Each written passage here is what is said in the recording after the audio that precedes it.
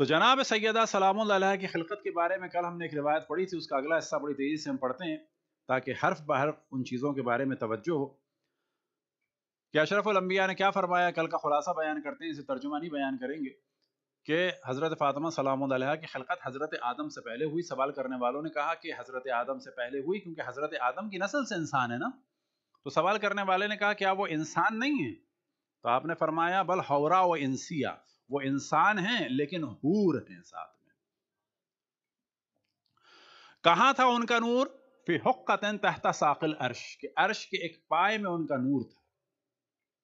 ان کی غذا کیا تھی؟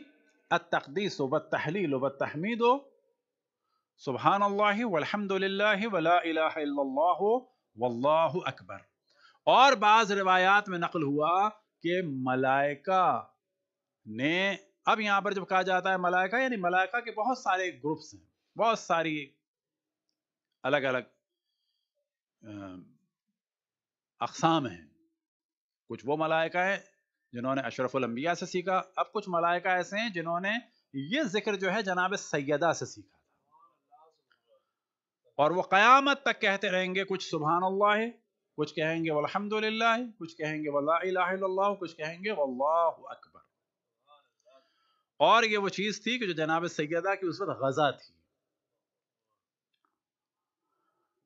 تو پھر اشرف الانبیاء فرماتے ہیں کہ اللہ سبحانہ و تعالیٰ نے مجھے وہ جنت کا پھل دیا جو ایک سیب کی صورت میں تھا۔ جبرائیل نے مجھے لا کے دیا۔ وقال علی السلام علیکم ورحمۃ اللہ وبرکاتہ یا محمد کے محمد, محمد تم پر سلام. وقلت وعلیک السلام ورحمۃ اللہ وہ حبیب جبرائیل. کہ اے میرے حبیب جبرائیل آپ پر بھی سلام ہو. وقال یا محمد ان رب کا یقرو کا سلام اے محمد تمہارے رب تمہیں سلام کہتے ہیں.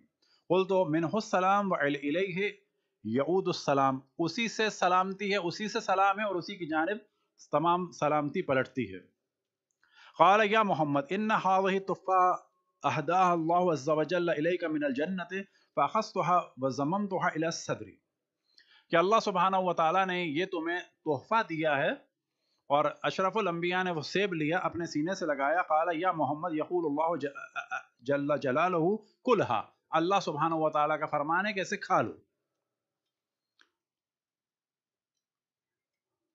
فاقل تو فرائے تو نور سات تو میں نے اسے کھایا اور مجھ میں سے ایک نور ساتف ہوا۔ اب آپ تصور کریں کہ یہ کون فرما رہے ہیں؟ دوبارہ ہم تکرار نہیں کریں گے۔ یہ کوئی عام انسان نہیں ہے نبی ہیں، عام نبی نہیں ہے رسول ہیں، عام رسول نہیں ہے اول العزم ہے اول العزم بھی نہیں ہے خاتم الانبیاء ہیں، خاتم الانبیاء نہیں ہے بلکہ اشرف الانبیاء اشرف الانبیاء فقط نہیں ہے بلکہ عالمین کے لیے رحمت ہیں۔ انہیں محسوس ہو رہا ہے، اس نور کو محسوس ہو رہا ہے کہ یہ نور جب مجھ میں آیا ہے تو مجھ میں سے نور نکل رہا ہے۔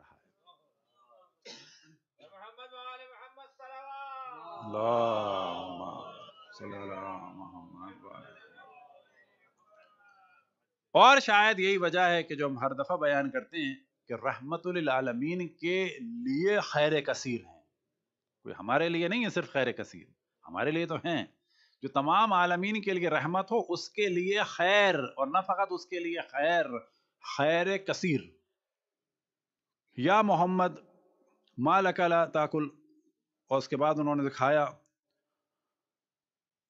اور اس کے بعد جناب جبرین نے فرمایا، فَإِنَّ ذَلِكَ نُورُ الْمَنْصُورَةُ فِي السَّمَاءِ۔ یہ جو نور ہے، یہ اس کا ہے کہ جس کا نام اللہ نے آسمان میں رکھا ہے، منصورہ۔ وحیہ فی الارض فاطمہ اور زمین میں اللہ سبحانہ و تعالیٰ نے ان کا نام رکھا ہے، فاطمہ۔ قال سمیت فی الارض فاطمہ لأنها فاطمت شیعتها من النار۔ کیوں؟ کہ جو ان سے محبت کرے گا، جو ان کا شیعہ ہوگا، جو ان کے گروہ کا ہوگا، اللہ اسے دور کر دے گا جہنم سے۔ وفاطمہ آدا اور ان کے دشمنوں کو دور کر دے گا کس سے؟ جنت سے۔ یعنی جناب فاطمہ کا نام فاطمہ کیوں ہے؟